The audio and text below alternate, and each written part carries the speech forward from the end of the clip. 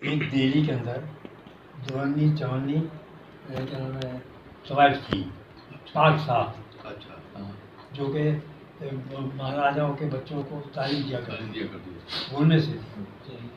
تو وہ سات تاریخ کو وہاں محفل کرتی تھی اپنی محرم کی سات تاریخ کو۔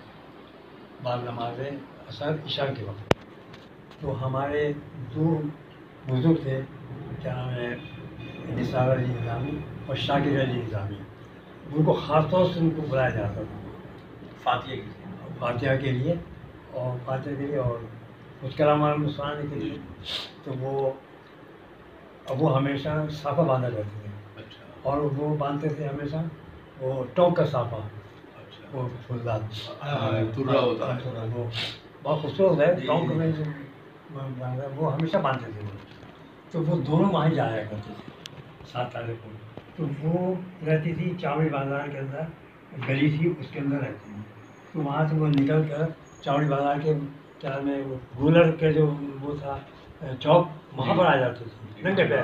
تو ان کو دونوں کو لے جاتے تھے وہاں جا کے اور کچھ سوچ خانی بھی کرتے تھے۔ بسکٹ لیجیے۔ اور تو ان کے لیے تخت بچھائے جاتے تھے۔ اچھا۔ صبح چاندنی گاؤں تکیے وغیرہ لگائے جاتے تھے۔ ان دونوں شہزادوں کو وہاں بٹھایا جاتا تھا۔ خود نیچے زمین پہ بیٹھتے تھے۔ جتنے بھی لوگ تھے۔ تو وہاں یہ جاتے تھے۔ ایک گھنٹے بس سوسانی کی اور فاتح وغیرہ کی۔ اور وہ زمانے ٹانگے تھے۔ جی۔ ٹانگے میں بلا دیے ٹانگے کے بلایا۔ وہ دہلی دروازے تک پیدل آتی تھی۔ اور وہاں سے تقریباً ڈیڑھ میل دو میل ہے دہلی دروازہ۔